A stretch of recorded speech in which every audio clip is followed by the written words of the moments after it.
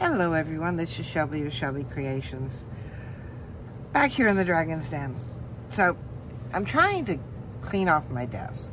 And, you know, we all end up with leftover book pages, with scrap papers, and it's either put them aside and find some time to use them, or I've been turning them into little envelopes super simple and you know just busy work and thought I would bring you along and show you how easy these are to make. Now I've got several scraps here and this is actually when I took a book apart, you know that thick front first page, I've got that and the page that's attached to it. A couple of scraps and Let's start with this one here. Very simple. All I'm going to do is I'm going to fold in this edge. I know that's not very straight. Let me see if I can do that a little bit better here. There, that's better. And I'm just doing the tiniest margin over here meeting it on one end and that's it. Now, I'm going to fold this up because I probably want it about there. And of course it's going to buckle on me. Press that side down. And then I'm not coming all the way down. All I want to do is fold that over just a little. There. Now, what I'm going to do is I'm going to open this up and, excuse me, I'm going to come in here where this fold is. I'm going to cut at an angle and go just past where I folded and snip that up. This way I can actually go down the other side. Come a little past that fold, and then just do like a 45 degree angle cut there. Do the same thing here. And I'm not cutting all the way to that fold. I'm staying inside a little bit. And then coming up this way. Get to where the creases and then go out. Now, on this part here, if you want to, you can take your circle punch and cut out a little space. I've got this, I don't know who makes this punch, but all it does is it punches a notch, just like that. Now, ink this up right quick. My dauber is actually dry for once.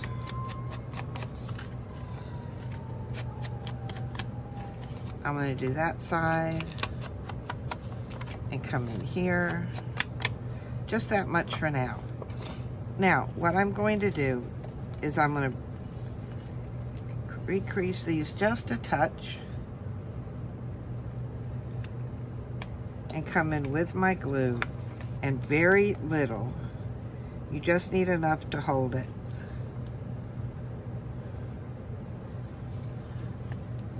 And fold that up.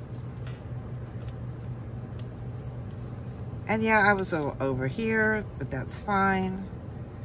Now, if you do not have one of these corner chompers, what you can do is actually come in. I like using a penny.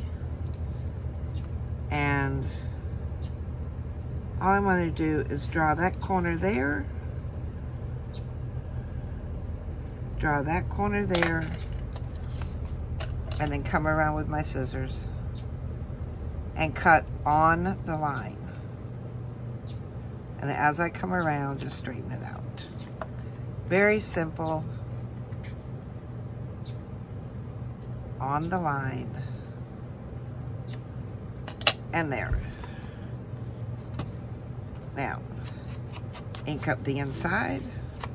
I know my inking is horrible. Do that line, and then I'm going to come around here and do this outside. And there you go. Easy as that.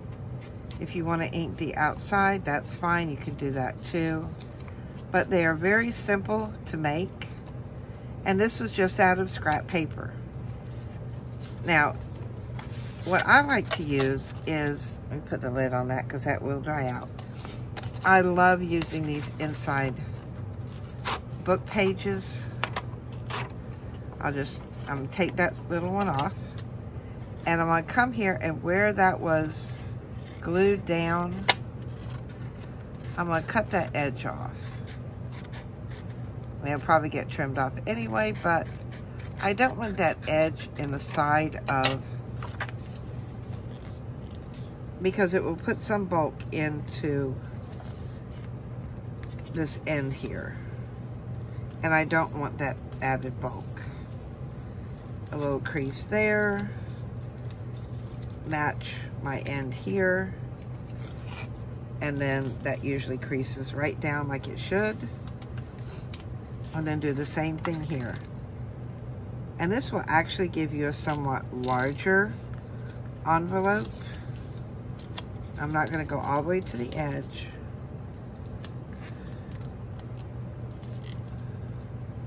Just like that. Now, if you're unsure about where to cut, it's you can also take this and go right down here. See if I can open this up so you can see it. I come right along here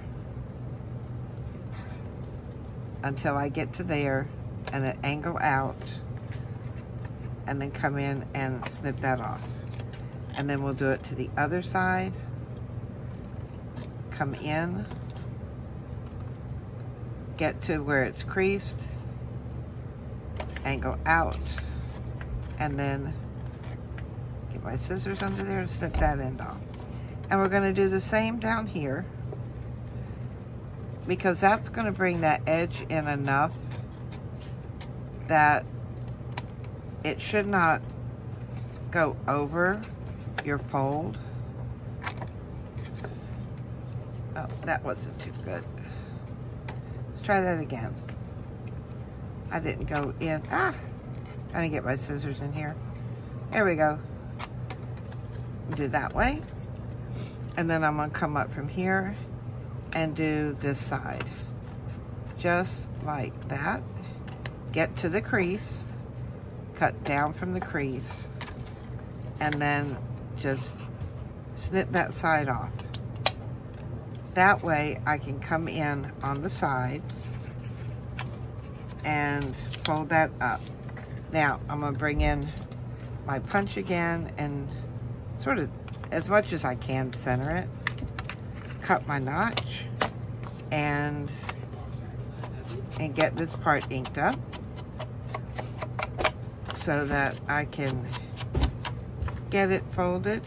Now this one here I will use my corner chomper on because it's just easier. And there and there. And then put a little bit of glue. Don't reach for my dauber, reach for my glue. Put a little, is it coming out? Or did I have another? I had it clogged earlier. Put some there. Fold that up. And see, I didn't go all the way to the edge of my glue because I knew I would have these pieces coming up here. And if you want to trim those further, you can. And then just come in here and ink. Now with this one being plain all the way around, I do want to get that inside edge. And then do my outside. And it's just that simple, that easy. And there you have another envelope. Now the problem that I run into is when I use, get a bunch of this trash out of my way. Oh, not my penny. This trash out of my way. The problem I run into is when it comes to book pages. Now I already folded this one. So I'm gonna come in and just trim this down here.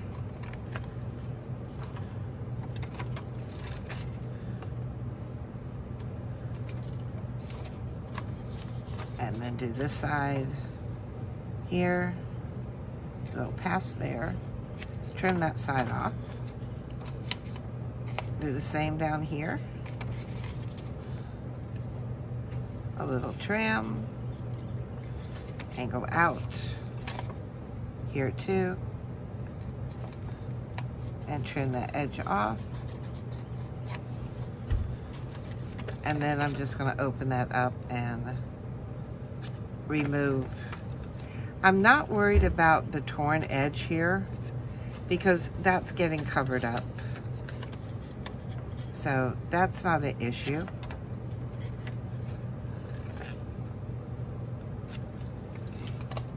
Now what I do want, let's see, how far is that going up? Is that, all right, that'll work. All right, I wanna see where this is. That didn't angle up quite as much as I wanted. Let's do it this way. I see where my page is going to fold up at.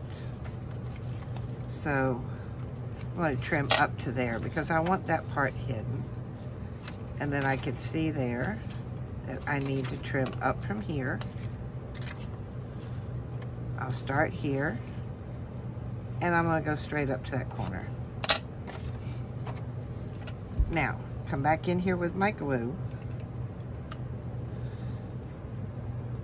And a little here, a little here. Make sure I got it there. and then fold that up. Now, I did not ink anything on this one, but that's okay. But you see, the front of the envelope, all the words are right side up, but on the back side, where the flap is, they're upside down. Now, it doesn't bother me, but if it bothers you, what you can do is simply use your scraps and cover it up like I did on this one, or even this one here. Because these, these I will stick in my book like that. So you open it up, the words are straight. And then it's like that. So, and I think on this one, I'm gonna come back in here with this. Trim that corner.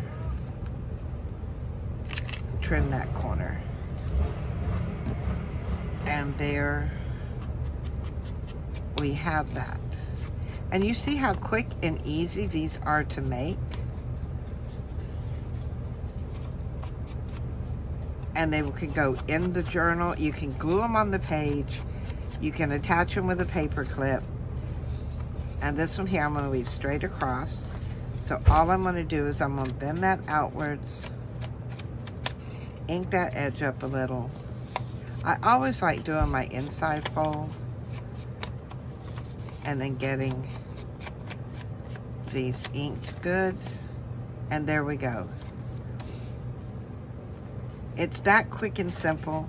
And instead of wondering what you're going to do with this, or even just, you know, if they're odds and end pieces, instead of just setting them aside or, at worst case, being tired of looking at them and chucking them, here you've got some cute little envelopes that you can stick in your journal. And when you use the the inside pages of your books, you know, the ones that are stiffer, that can even be, that makes an envelope that is sturdy enough to go into the mail or use it as an invitation or whatever. and they come out blank and they're really nice looking envelopes. Even if I do say so myself. But these are quick and easy. And before you know it, you've got a nice little stack to put in your stash to use in your journal. Now, if you've enjoyed what I've shared with you today, give me a thumbs up, hit that subscribe button, and I will see you next time here in the Dragon's Den. Bye, guys.